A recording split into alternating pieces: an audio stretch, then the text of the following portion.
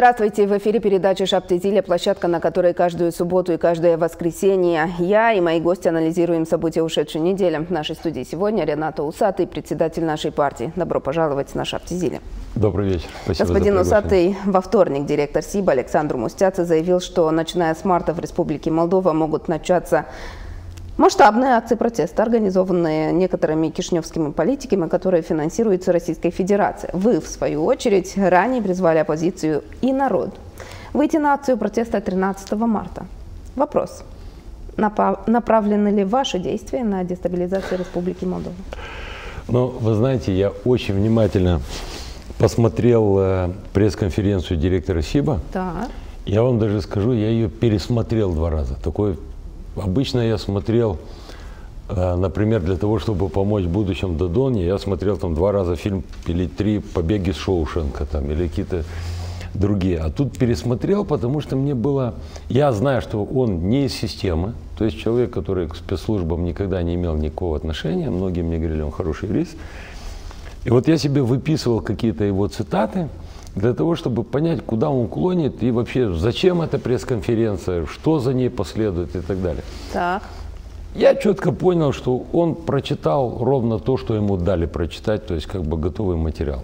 Кто ему дал готовый материал? Ну, вы понимаете, сегодня мы четко понимаем, что у нас директор службы информации, так же как и другие э, первые лица нашей страны, неважно в силовом ведомстве, правительстве, они все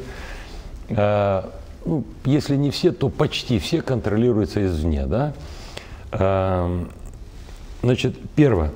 Все, что сказал директор СИБа, э, под это, после его заявления можно не то что снять с выборов, а можно запретить абсолютно все партии, которые есть зарегистрированы сегодня в бывшем Минюсте, сейчас этим занимается ОСП.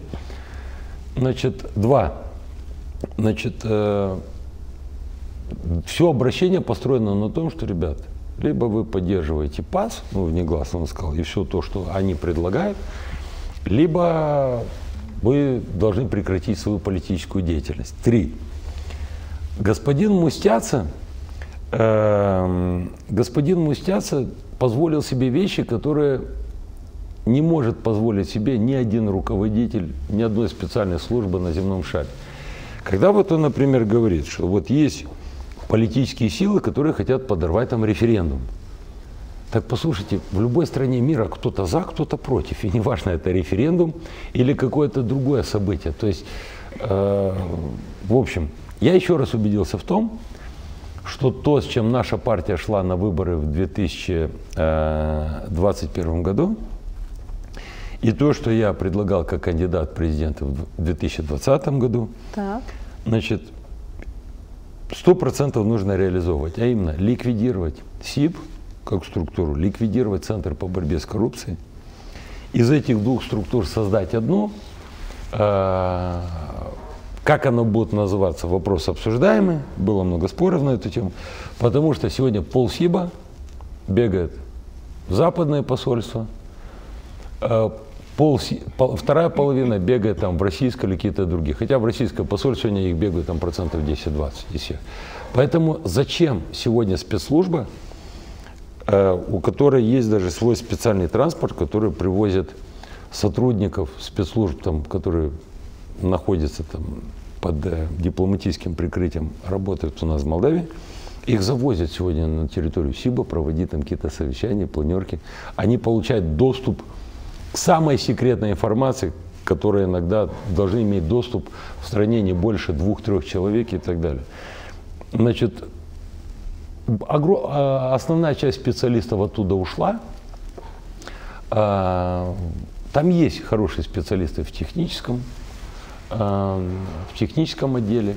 Так. Э, есть нормальные сотрудники в любой спецслужбе. Вот из всех этих нормальных нужно новое. СИБ – это сегодня не понимаете, они пытаются сегодня показать, что они инструмент справедливости, но на самом деле они сегодня оружие угнетения и политиков, и граждан нашей страны. СИБ – это структура, которая должна работать на предотвращение. Значит, я не видел сегодня э, какой-то фактуры, Если у них есть претензии к каким-то политикам или партиям, выйдите, назовите имена, фамилии.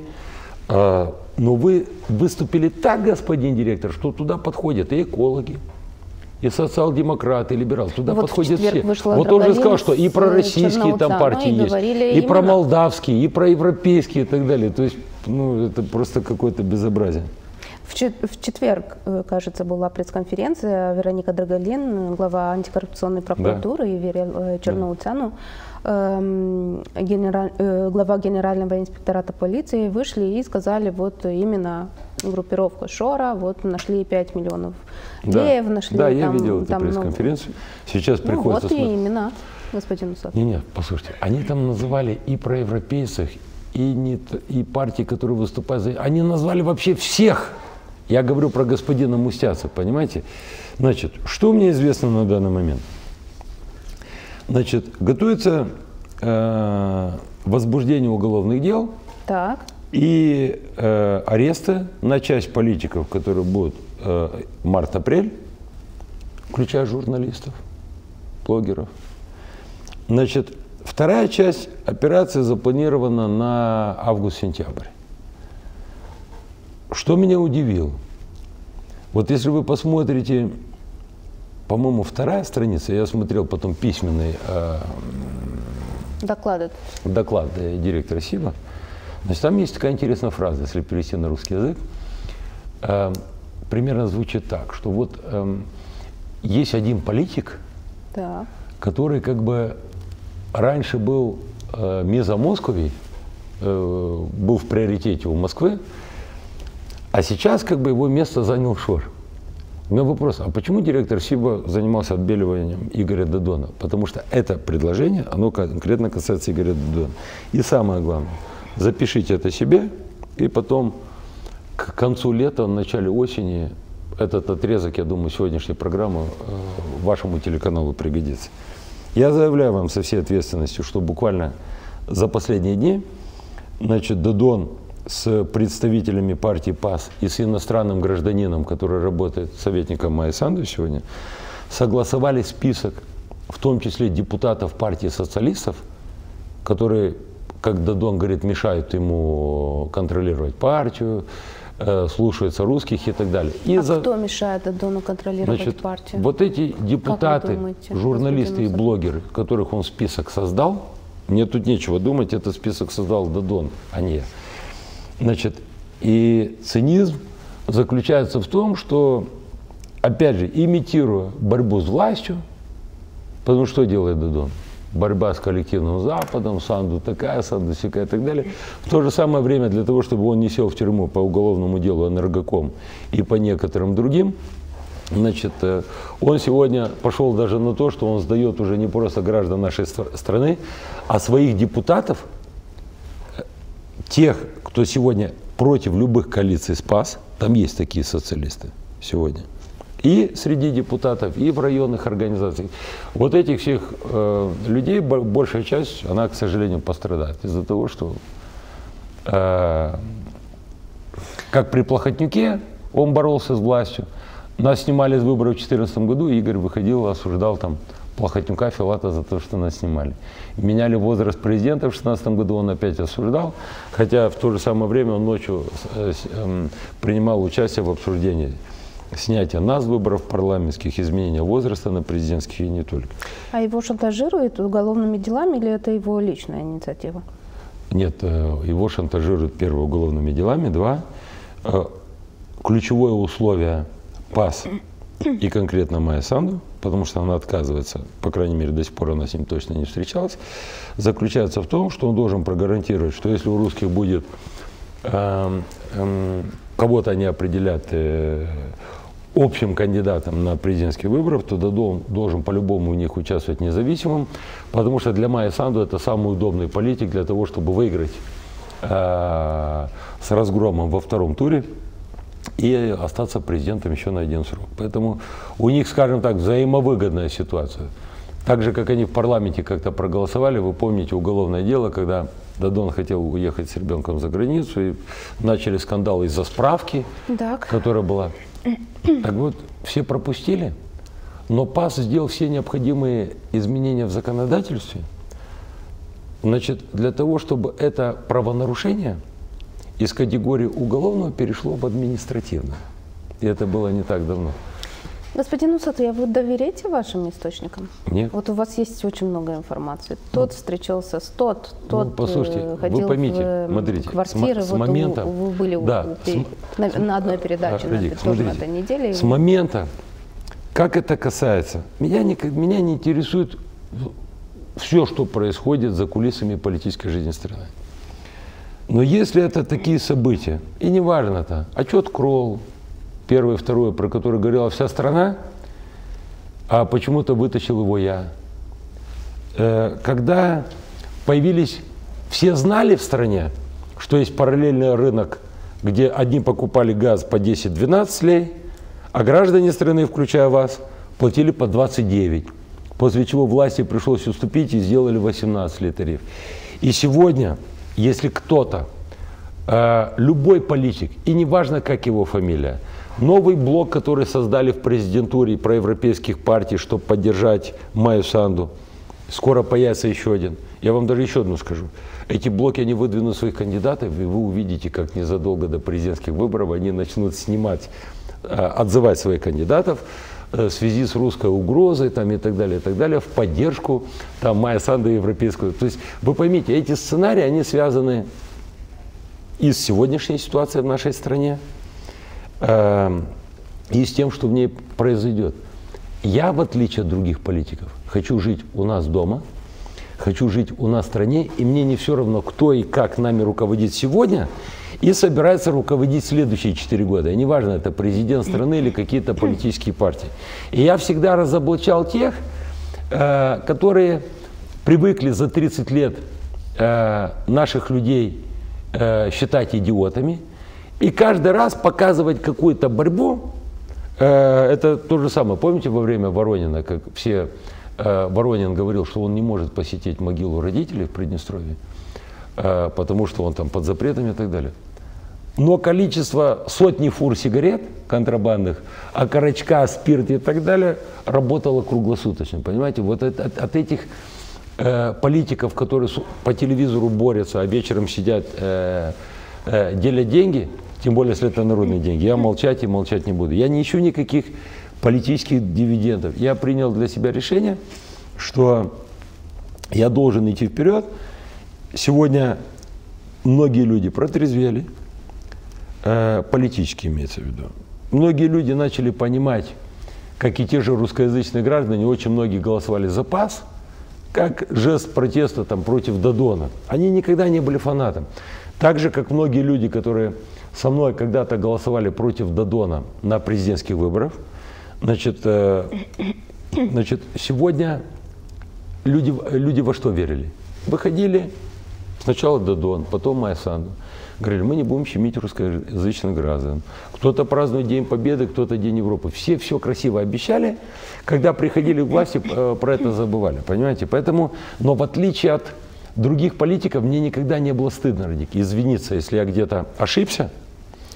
Э, как, например, на президентских выборах, да, когда в 2016 году в приемной в бане у меня сидел Дадон, мой день рождения перед вторым туром, или когда э, в 2021 году, после всех этих коррупционных схем, после всего того, что э, Дадон устроил меня, в том числе уголовно, за пределами Молдовы, я голосовал против Дадона, но я сейчас осознал, что я никогда в жизни больше не буду за кого-либо или против кого-то призывать, вот если я не окажусь во втором туре, это я говорю журналистам, даже не вздумайте спрашивать меня, что мы будем делать.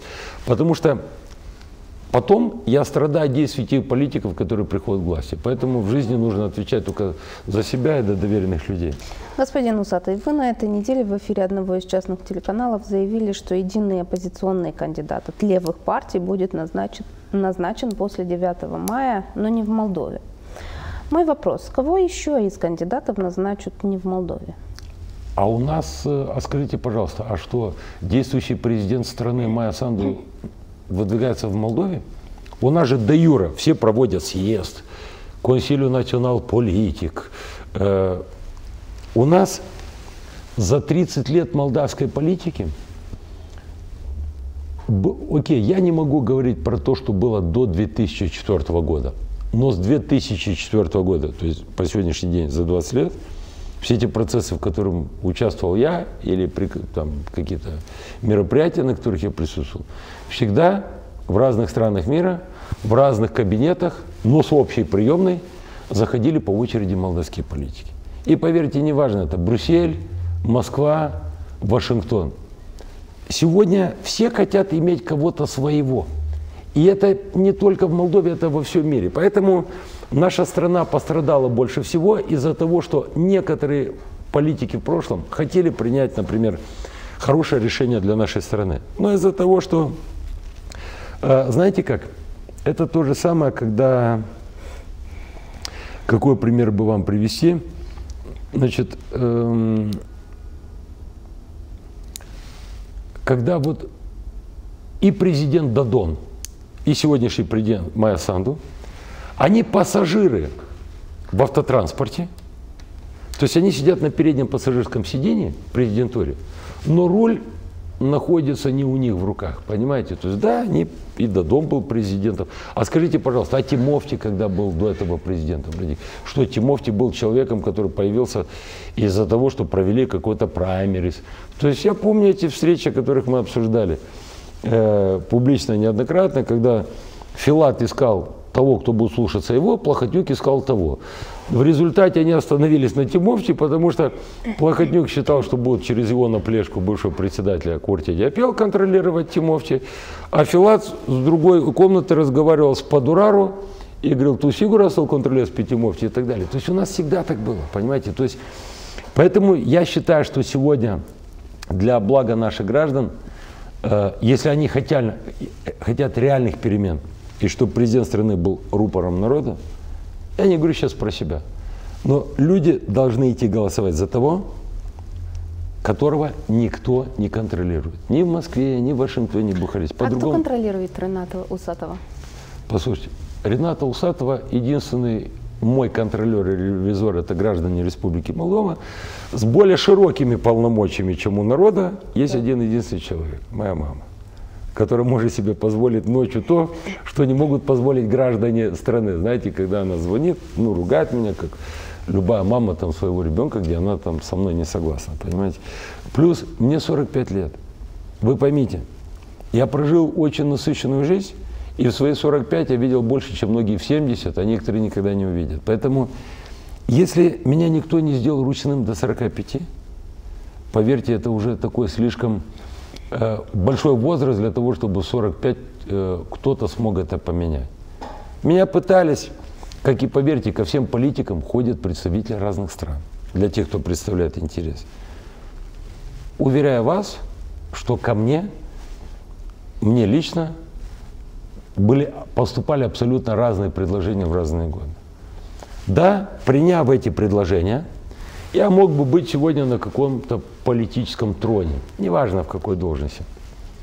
Но вы понимаете, для меня самое ценное сохранить себя, и чтобы, когда я буду сидеть у вас в этой студии, через 5 лет или через 10, через 15, сегодня ваш телеканал по-другому называется. Возьмите любой отрезок из программ с вашими коллегами, когда я пришел в эту студию первый раз в 2014 или 2015 году, и вот задайте мне любой вопрос из старых видео – я вам на него отвечу без подготовки. Знаете почему? Потому что у меня не было политехнологов, кураторов, кто мне пишет речи, как людей дурить, как смотреть им в глаза. Я некоторых гостей у вас вижу, которые так профессионально уже сидят, как эти, на программе, как называется программа, «Битва экстрасенсов», знаете, которые сидят там, знают, когда грустить, когда махать рукой, когда кричать.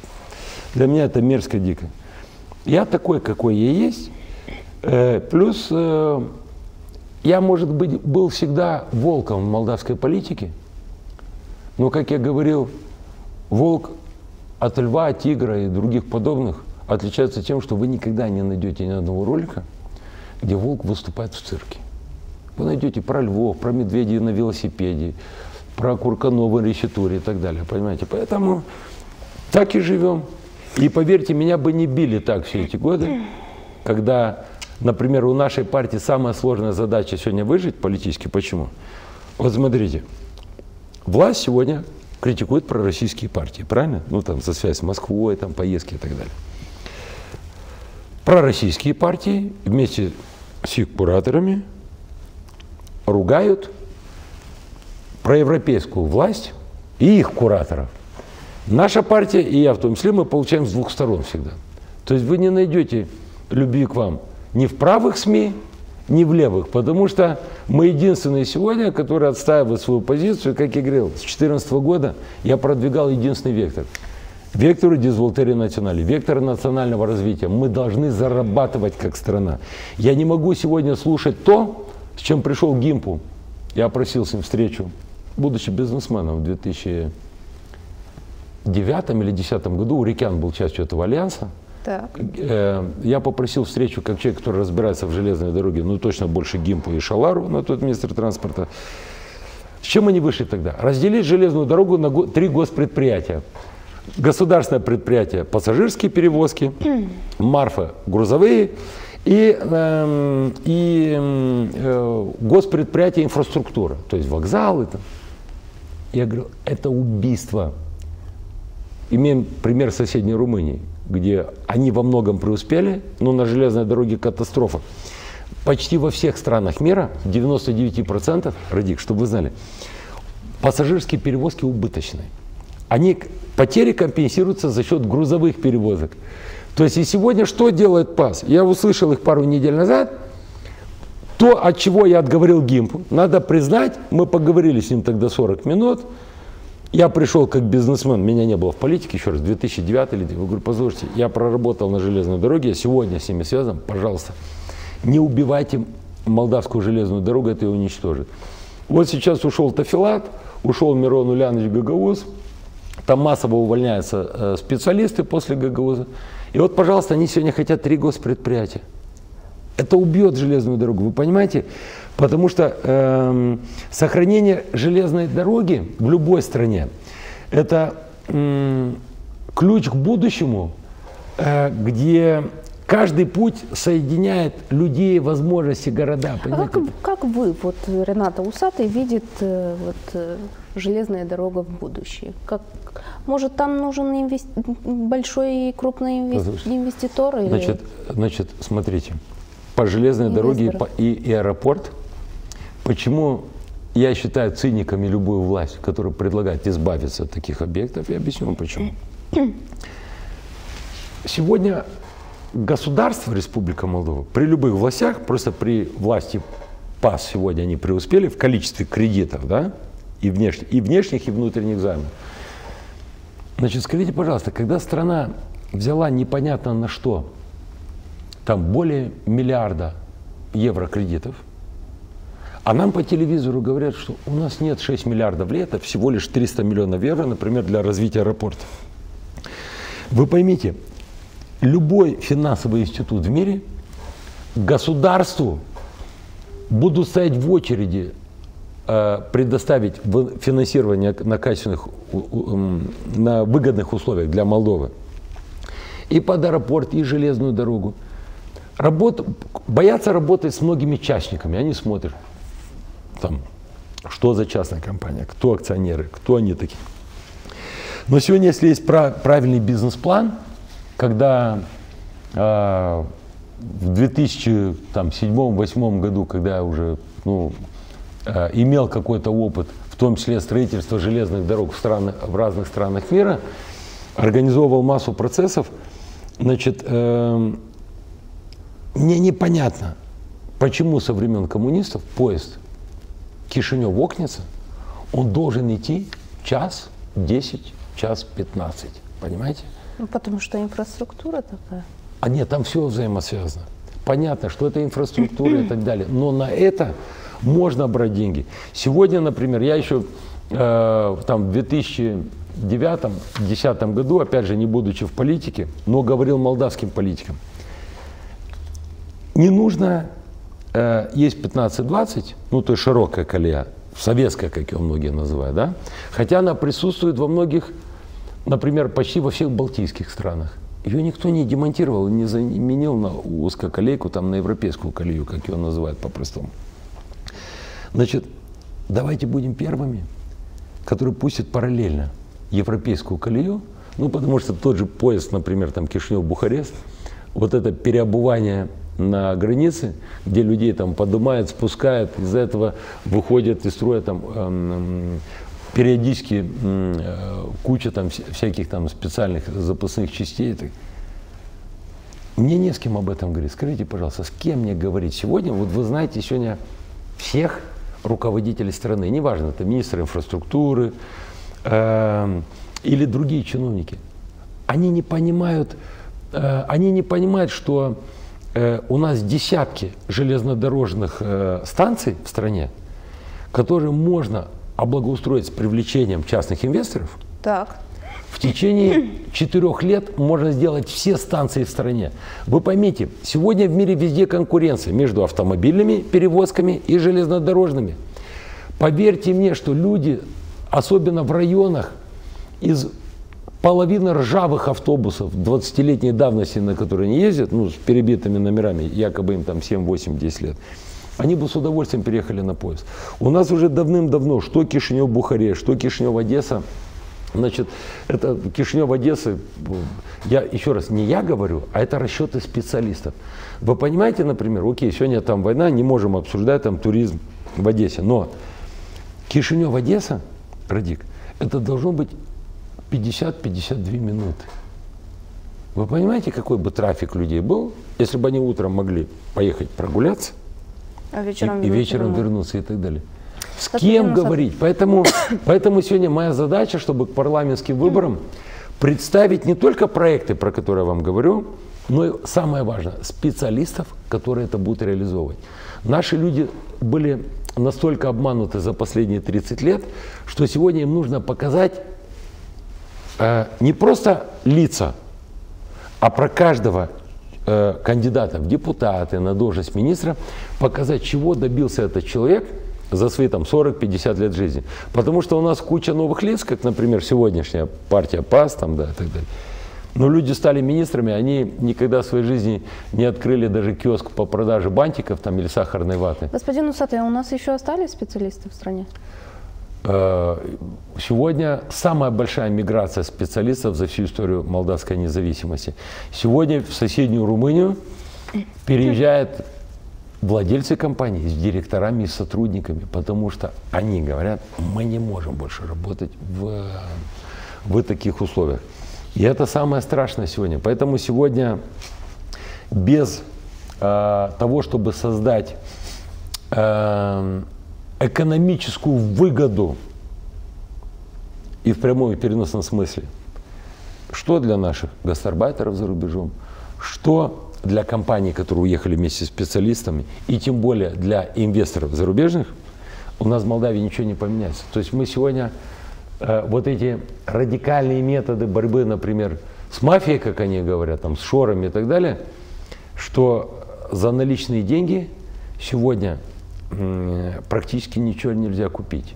Я говорю про недвижимость, автомобили и так далее.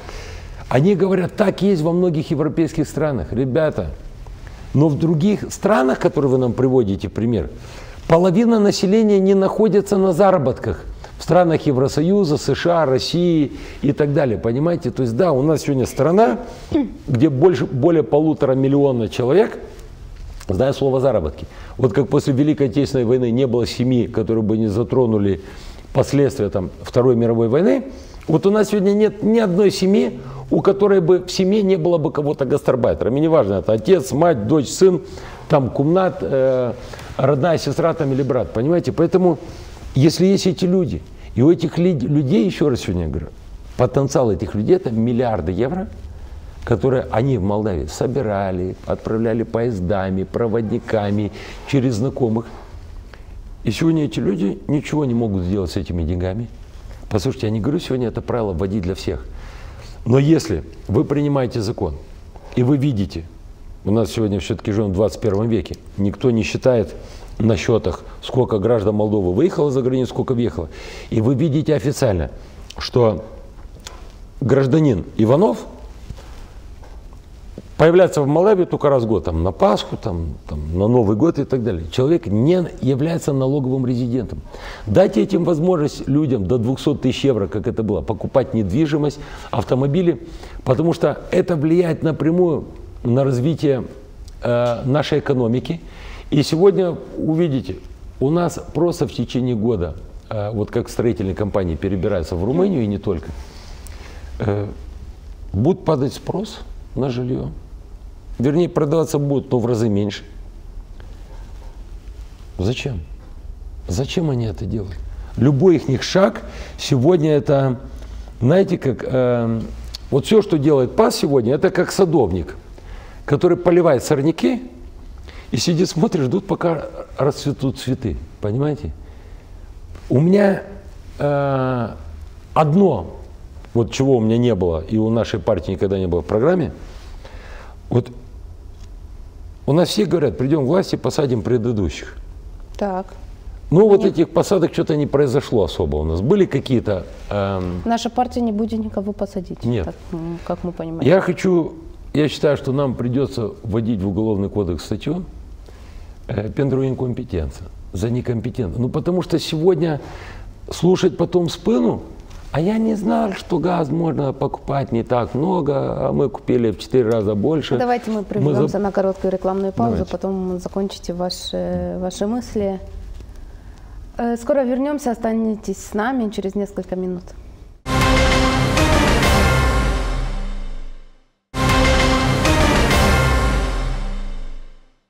Продолжаем наш эфир. Сегодня у нас Рената Усатый. Господин Усатый, а давайте вернемся чуть-чуть к президентских выборах. Ходят слухи, что у Усатого не так много шансов на этих президентских выборах. Что вы на них ответите и кто из оппозиционных политиков может быть на предстоящих выборах достойным и сильным соперником действующего президента? Вы знаете, я абсолютно открыто всегда говорил и про шансы, и про проценты других. Сегодня еще раз. Сегодня вся битва будут разыгрываться между тремя игроками, кто бы там что ни говорил. Один игрок это Майя Санду так. вместе с Европейским Союзом, США там, и всеми там странами, их партнерами. С другой стороны, будет кандидат, который будет называть себя типа независимым, потому что из-за войны в Украине э, таких открытых предвыборных кампаний, как было до войны, там, в пользу России или со стороны России не будет. То есть кандидат, который поддержит какое-то количество партий, и будет проект России, и в центре буду я, который будет объяснять людям, что имея правый корабль, выходя из порта, э, будет крен вправо, имея левый, будет влево. Насколько я смогу это объяснить и насколько я эм, э, насколько большое встр... количество встреч я смогу провести в территориях и так далее. То есть вот вам вся картина, которая есть сегодня. Господин Усатый, я как и на прошлый выбор, меня спрашивали, ну вот как, меня даже в процентах спрашивали, говорю, говорю послушайте, сегодня там пресса Дадона ставит там одного на третье место, другой четвертое, мне там все давали пятое, да?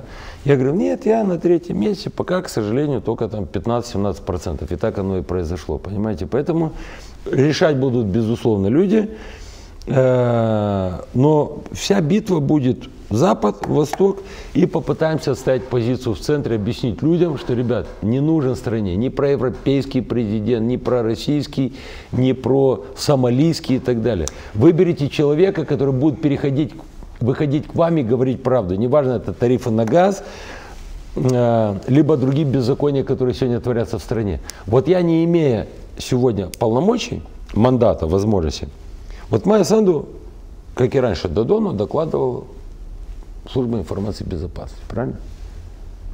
Скажите, пожалуйста, сколько таких информаций важных для того, чтобы их знали граждан страны, представил в свое время президент Додон или сегодняшний президент Майсан? Почему? Потому что вот эти огромное количество интересов для одних или других. У меня этих интересов не было и нет. Поэтому люди будут решать. Вот все яростно защищают бывшего генерального прокурора Александра Стояноглу. Как вы думаете, эта фигура могла бы стать э, центральной для оппозиционных сил? Есть ли шанс, что они смогли бы объединиться вокруг такого единого кандидата в президент? Вы знаете... Потому что есть разговоры очень много про единый кандидат. Смотрите, э, если... Э, я вам так скажу, Александр Дмитриевич очень порядочный человек. Так. Все, я никогда плохого, кроме выданными всякими мерзостями пас и окружением Майя Санду, про этого человека я никогда не слышал. То есть вы поймите, если бы у меня была на этого человека хоть какая-то информация, э, вы бы ее услышали, неважно, полгода назад, год или три. Это человек, э, которого э, решили покорить еще раз, это э, правосудие, которое покоряется политическому давлению. И как я уже говорил, как про оно должно быть, эм, оно не является инструментом справедливости, а является оружием угнетения, то же самое. Поэтому эм, это очень достойный, порядочный человек, я вам так скажу. Вопрос в другом. Кто будут все те, которые хотят поддержать? чтобы Александр Дмитриевич не пострадал, вот как его в свое время привязали к Платону, то, что сделала партия ПАС, да, что вот там слава привет там, или слава до свидания. И вот абсолютно, тем более под видеокамеры, там, публично этот их разговор, они интерпретировали по-своему. Поэтому эм, я вам так скажу, если бы я был простым гражданином и увидел бы возможность, ну, что вот есть, например, Майя Санду с одной стороны, а с другой стороны Александр Стояногла. Я, безусловно, пошел бы проголосовал за Стояногла, даже не, не раздумывая. Еще раз, потому что я очень хорошо знаю историю этого человека, потому что когда он стал генеральным прокурором, я никогда за ним не наблюдал, мне было интересно, что это за человек. И я считаю, что а, еще раз, всю ту мерзость, которую... Ну, значит, есть шансы, вот, что простые люди проголосовали за, за Стоянова, если безусловно, он будет с безусловно, во без... втором туре. Я же вам очень честно сказал, что если бы он был, например, с Майей, я бы сидел дома как гражданин, естественно, я бы никогда в жизни не голосовал в таком случае за Майю А Александр Слусарь? Он на этой неделе объявил, ну, что больше не является исполнительным директором давать, ассоциации. Я ответил вам на вопрос про господина Стояногла, потому да. что он не является сегодня политической фигурой. Он является сегодня генеральным прокурором, которого незаконно сначала отстранили, потом э, сняли с должности, и человек, который рано или поздно, я уверен, вернется на эту должность, только не при этой власти. Да. А давать оценки там Александру Слюсарю или другим Нет, я не потому хочу. что он получил якобы предложение на этой неделе стать кандидатом в президента от правых сил, поэтому Послушайте. я и спрашиваю. Да какие и... там правые силы? Все эти блоки созданы в администрации президента, как и следующий блок, который будет создан. Меня это не интересует. Пусть все выдвигаются сколько хотят. А я... кого, по-вашему, можно назвать темной лошадкой избирательной кампании этого года? На будущих выборах? На этих выборах в этом году? Да там все понятные игроки. Я не знаю, кого назвать. Темные. Из тех, которые понятны. То есть для меня лично все понятны. Не знаю, может для кого-то кто-то темный есть. Для меня они все светлые, просканированные трижды и так далее. Господин Усатый, давайте поговорим чуть-чуть, э, вернемся, точнее, к словам главы СИБ вот что э, Россия предпримет действия, чтобы референдум о вступлении Республики Молдова в ЕС провалился. Вот я хочу узнать, как, э, по-вашему, кто или что на самом деле угрожает этим, этому референдуму, потому что, допустим, тоже на этой неделе экс-премьер э, Молдовы Влад Филат сказал, что этот э, референдум о евроинтеграции, он состоится. Однако по завершении переговорного процесса с Брюсселем придется провести, э, провести еще один плебисцит. Будет у нас два плебисцита? Да. Если это все-таки состоится, хотя я считаю, что его не будет очень, Майя Санду отменит свое решение, увидите. Майя Санду сама отменит? Я уверен на 100%.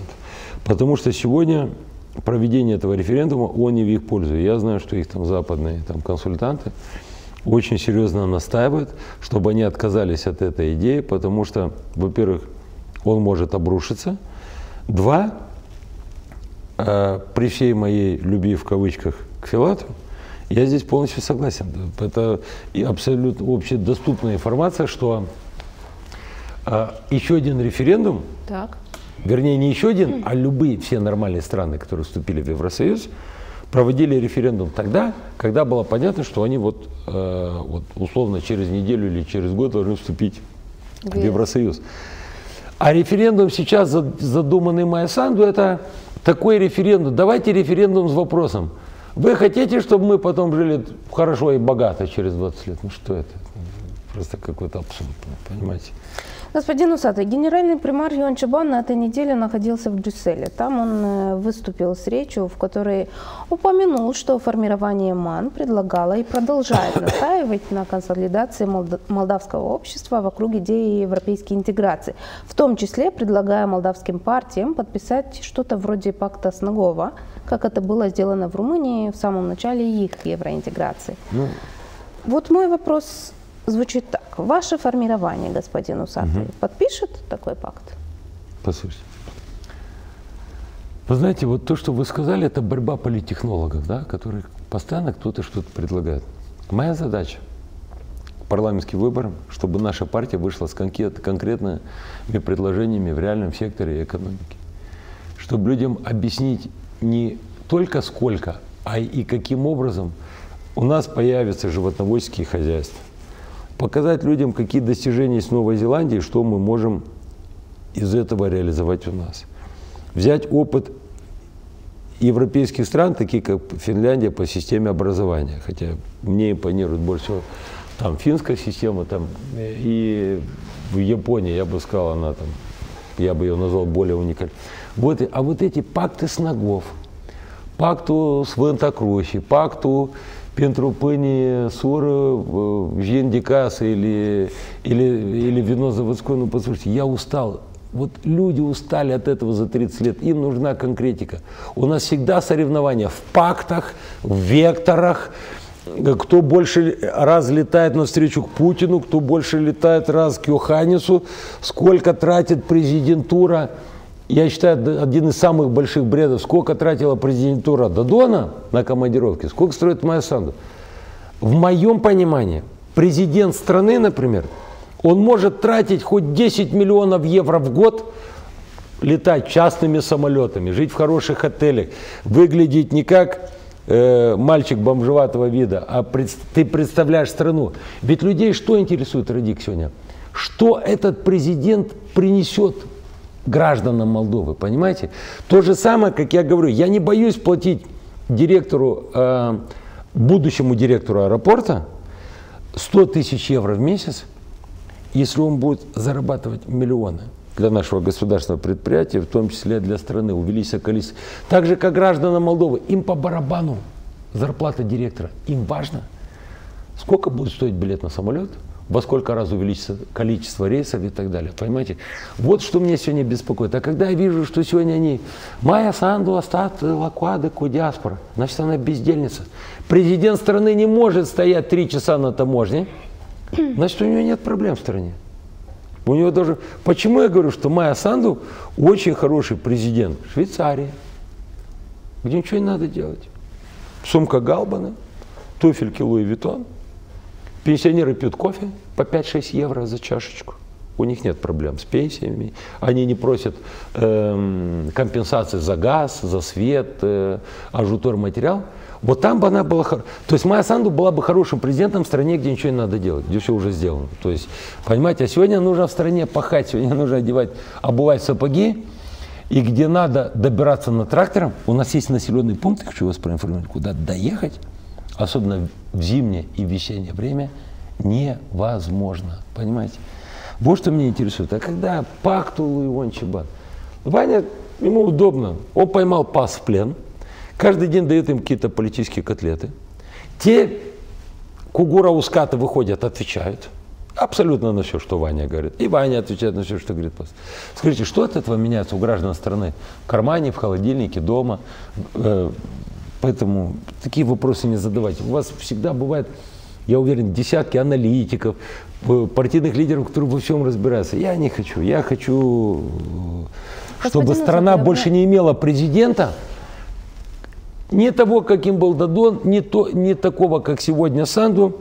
Знаете, пилот, который не умеет управлять самолетом, но он сел за штурвал и все равно решает полететь. Ну что это? То есть государство строится не мечтами, а расчетами. А вы сторонник евроинтеграции Молдовы? Нет.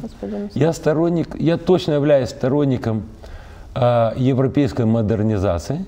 Когда мы говорим про европейскую модернизацию, модернизацию, почему не европейская интеграция? Потому что есть вещи, с которыми я не согласен из так называемых европейских реформ. И я всегда с 2014 года отставил, если, например, сегодня по животноводству, как я говорил, Новая Зеландия, одни из э, самых успешных в мире, они не являются частью Евросоюза. Я хочу с ними сотрудничать. Если Объединенные Арабские Эмираты сегодня э, неэтично будут говорить, но, может быть, как-нибудь там потом. Э, я знаю про, про, правительственные и государственные проекты, которые они финансируют в других странах, да, там выходят президенты, премьеры, рассказывают про разработку вакцин и так далее. Но за ними стоят Эмираты. Значит, я хочу вот в бизнесе, да, вот вы, например, эм, проевропеец. Вы проевропеец?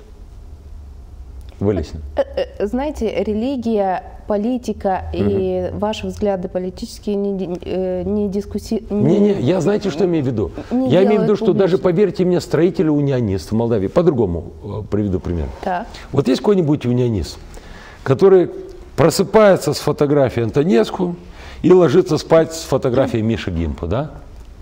А он строитель, ну, имеет строительную компанию. То есть мы с вами уверены, что он унионист. Поверьте мне, что если э, где он будет покупать строительные материалы для своей компании или оборудование для своей компании, неважно, спецтехнику и так далее. Если он унионист, он должен покупать ее теоретически в Бухаресте или как минимум в Европе, правильно? Да. А я вам скажу, что унионист, если он реальный строитель и бизнесмен, и он увидит, что это дешевле у русских, он покупает у русских.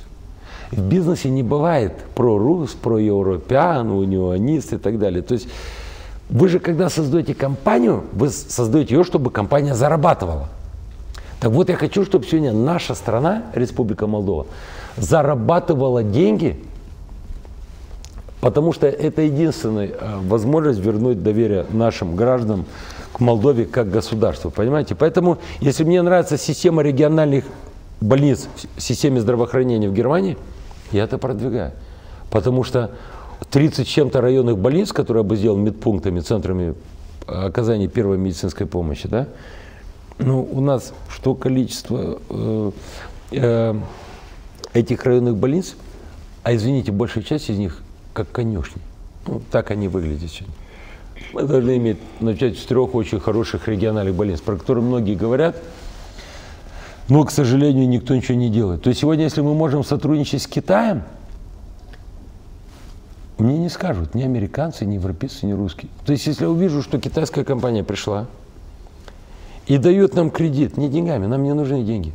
У нас большинство эм, кредитов некому осваивать в Молдавии. Поэтому всегда воровали, воруют много и могут воровать еще больше. Я хочу получить кредит от Германии или от Китая – у меня нет ограничений. Например, готовой дорогой. Я говорю про скоростную, э, про автомагистраль, да, автострада. Послушайте, я хочу увидеть стоимость и сроки. Чтобы не узнавать, что несколько миллионов евро у нас стоит иногда кусок э, дороги с односторонним э, движением. Ну. Господин Усатый, и снова вернемся к заявлениям, сделанным господином Устяце. Так, вот что-то. Глава СИБ утверждает, что ложная информация о руководстве страны и ее европейском курсе распространяется через каналы в Телеграм и ТикТок. Да. Что делать? Запретить их на территории страны? Еще раз, я бы запретил службу информации безопасности, как структуру для А начала. в Facebook и Instagram дезинформации нет? Как вы думаете? Послушайте, дезинформация есть везде. Так. Поэтому Сегодня, еще раз говорю, заявление господина Мустяца, первое, одних запугать, два, как предпродажная подготовка к следующим специальным мероприятиям, которые они будут проводить. Самое страшное то, что есть люди, которых реально нужно наказывать за нарушение закона, но их не так много. а под эту гребенку они просто будут э, делать со всеми, что они захотят. А Поэтому... как вы расцениваете законопроект депутата, депутата Лилиана Карпу, который предусматривает введение наказаний для тех, кто позволяет себе нападки на первых людей в государстве в социальных сетях? Вы знаете, Лилиан Карп, насколько я мне известно, очень хорошо разбирается в карьерном бизнесе которому он имел и имеет прямое отношение. Пусть лучше занимается э, тем, кто сколько со своими партнерами не все разбирается, кто сколько утащил с карьера из природных ресурсов, которые бы я на, национализировал у таких, как э, Карп и людей, которые за ними стоят. Вы поймите, что может говорить Карп? Что может говорить Карп, который ничем особо не отличается от всех тех, которые есть сегодня в, в партии власти? Вы меня больше, понимаете, если бы вышел Карп и сказал, что современная академия наук – это фундамент для строительства между э, на строительство моста там, между прошлым, настоящим и будущим, который объединяет там, историю, культуру и инновации. Вот чего я жду, хотел бы услышать. Я говорю не про Карпа, про любого политика, да? Потому что э, Сегодня мы говорим про пактус ногов, про другие пакты, про какие-то референдумы, где политики сегодня хотят выудить для себя какие-то дивиденды. И неважно, там, для президентских там, или следующих парламентских выборов. Но никто не говорит про Академию наук. Да? Вы знаете, я когда э, до возвращения в Молдову, я была возможность там, в разное время в разных странах познакомиться с разными людьми. Да? Эм, поэтому, может быть, у меня сегодня немного другой креатив, чем у тех, которые руководят страной. Потому что я знаю, что такое кризисная ситуация, знаю, что такое проблемы. Я знаю, что такое э, там, жить по 6-8 человек в, там, в съемной комнате у бабушки, когда мы там все были простыми гастарбайтерами и так далее. Но в то же самое время, знаете, когда я познакомился, я помню, там, в один санаторий, вот я выбирал время в определенный санаторий, Э, я ездил, например, там, с лауреатом Нобелевской премии, там, Жерез Иванович Алферов, да, он получил Нобелевскую премию за э, э, человек, с которым связали навеки полупроводники физики и имя Алферова, да. То есть откуда вот я говорю сегодня про Академию наук, я, может быть, бы тоже сегодня как бы был бы как Карп, который говорил про угрозы президенту, про карьер, и, или там как там утащить у какого-то бизнесмена 100-200 тысяч евро. Но а, а, разговаривая сутками с такими людьми, вот как один привел Желез Иванович Алферов, э, к сожалению, уже несколько лет его как нет, значит, вот там я получил вдохновление, и у меня, когда я говорю про Академию наук, это не пустые слова – а это человек, который не из-за того, что он лауреат Нобелевской премии, но из-за того, что он там был еще младшим там научным сотрудником, мы обсуждали там, начиная э, разработка атомной бомбы, там еще при Берии там много лет назад. Вы поймите, вот я так рос, да? Поэтому меня интересует Академия наук, а их интересует, что наказать тех, кто критикует сегодня президента. Давайте другое. У нас есть уже мачта, ну, на которой э, перед правительством, по-моему, Филат установил рядом с памятником Гимпу, да, с камнем. Давайте вообще вытаскивать людей, лом гищушка. 100 плетей тому, кто сказал, что моя Санду это плохо. 200 плетей, кто спину назвал доминатором. 300 тому, кто возмущается э, ценами э, на газ. Понимаете, они сегодня являются политиками, которые э, покупают крылья у пингвинов. Это вот почти вся партия ПАС, да? Где инвестиции высоки. Но ты не можешь дешево сегодня купить крылья пингвинов. Особенно у нас в Молдавии на рынке их даже нету. Да? Это какой-то спецзаказ там, э, и так далее. Значит, то есть получается инвестиции очень высоки, чтобы купить крылья пингвинов для пас. Но шансов взлететь минимально. Даже если они за миллион долларов купят каждую пару. Вот и вся ситуация. Поэтому э, я хочу досрочные выборы. Так. И не то, что я их хочу. Сегодня вопросы, где есть этот вопрос, хотят 70% граждан Молдовы. Поэтому, когда я увидел ответ вчера или позавчера, я даже не стал отвечал. Там есть этот юный парень, глава пресс-службы э, президентуре. э, Балуцил, Андриан Балуцил. Аша. А он не глава пресс-службы, он э, глава кабинета Это не администрации важно. президента. Это не важно. То есть э, это ничего не меняет. Значит, он ответил, мы написали же письмо парламент, Так. где они ответили пока ни оппозиционные партии, ни власть. 30% депутатов, то есть треть э, депутатов может инициировать референдум. Законодательный, консультативный или конституционный. Если вы все, социалисты и другие, коммунисты, боретесь с Майя Санду, почему вы сегодня не инициируете референдум с вопросом, хотите досрочные выборы или нет? Второй вопрос. Хотите вы или нет, чтобы Майя Санду, как президент страны, подала в отставку? Это единственная форма, чтобы легально задать вопрос, потому что есть, ну, законом установлен вопрос. Что ответил этот э, глава кабинета Майя Санду? Что в Конституции, согласно нашей Конституции, у народа есть право на референдум, то есть, типа, при чем тут президентура? Я отвечу этому нехорошему человеку. Может быть, как человек хороший, но как специалист нет.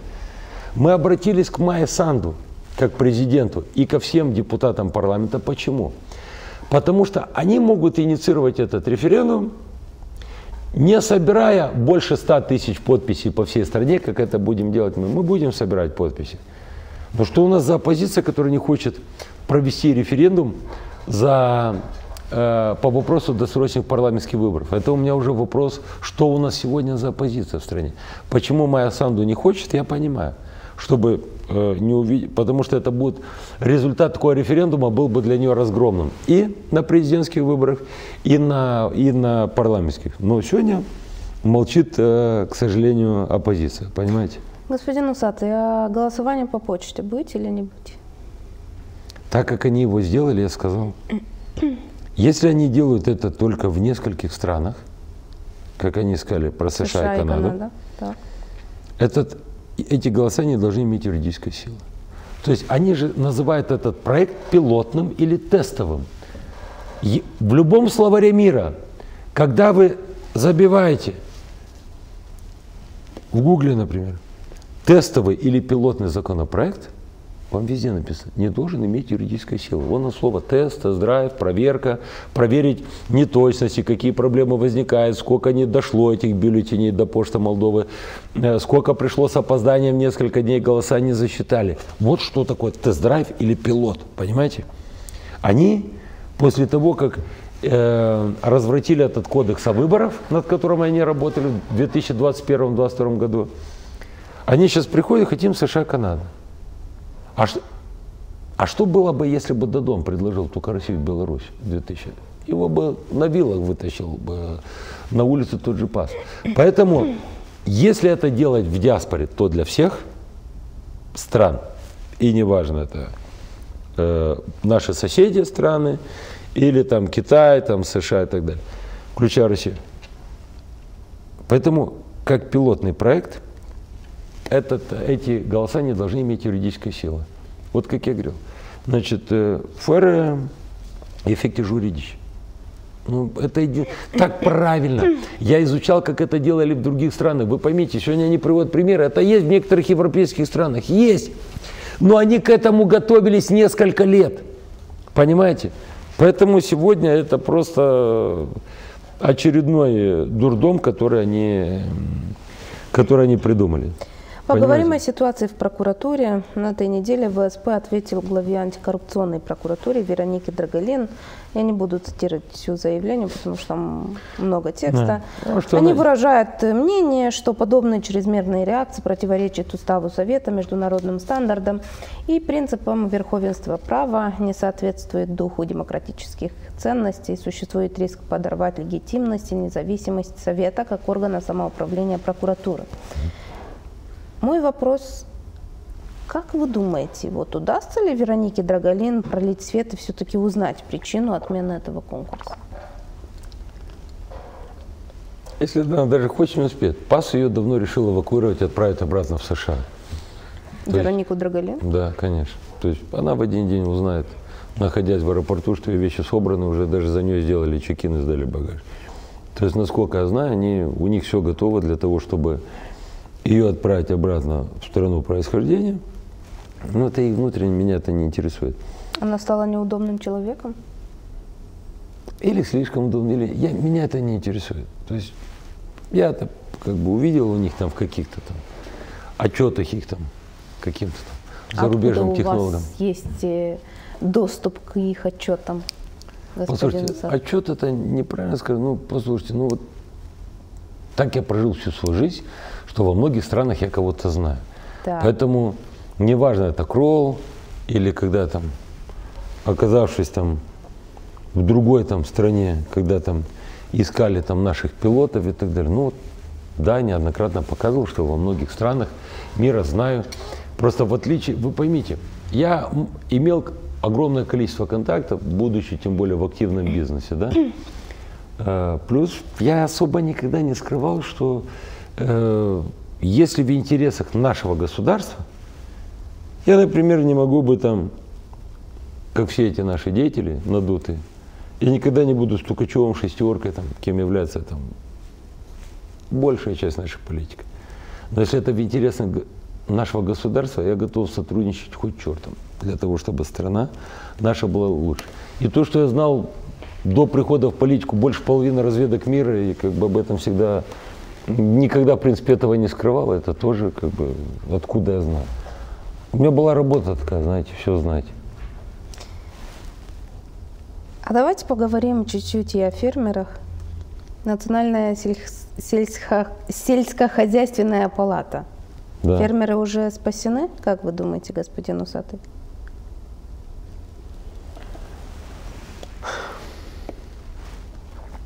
Вы знаете, одна из самых печальных э, страниц для, для нашей страны, что сельское хозяйство, которое должно быть иконой, визитной карточкой, да, нашей страны, она превращается просто в, в, в полигон, где постоянно политики ищут просто какие-то голоса, постоянно что-то обещая тем, кто протестует, тем, кто в оппозиции. Те, кто у власти старались ничего никогда не делать. Значит, я говорил, говорю и буду утверждать, что единственный вариант, чтобы не было проблем в сельхоз отрасли у нас, это только тогда, когда они выдвинут сами своего кандидата в министры, Юг назначит своего секретаря Дистат, госсекретаря, центр своего, север своего. И дать возможность этой отрасли, чтобы ею занимались специалисты, выдвинутые специалистами, то есть политики не должны прикасаться. Любой политик сегодня или политическая партия, нет у нас сегодня партии, которая может в этой отрасли навести порядок. Я это заявляю всей ответственности. Давайте Не прервемся на короткую рекламную паузу, потом продолжим наш разговор. Давайте. Вернемся через несколько минут. Останьтесь с нами.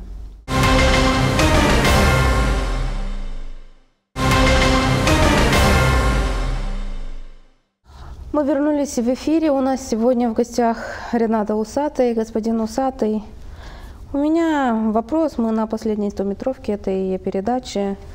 Но я очень хочу узнать, и наши телез- телезрители тоже.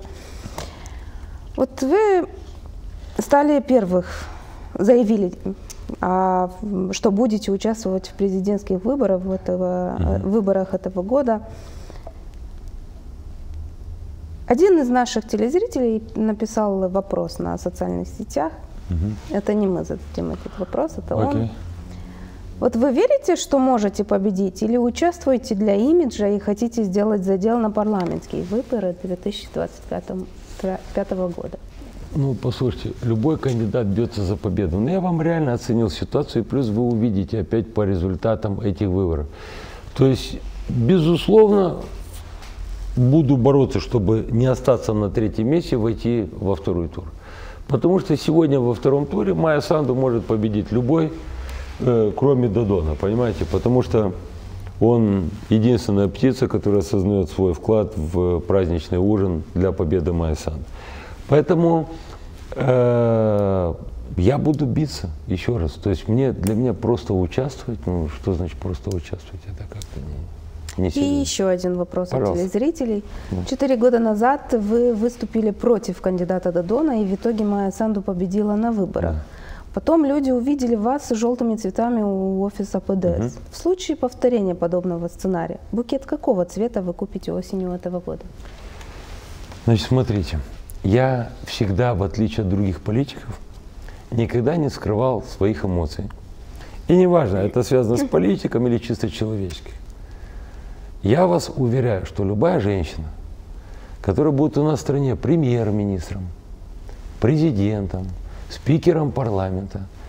Я обещаю, что буду дарить всем цветы, ну, в случае визуального контакта, так просто я же не хожу никогда.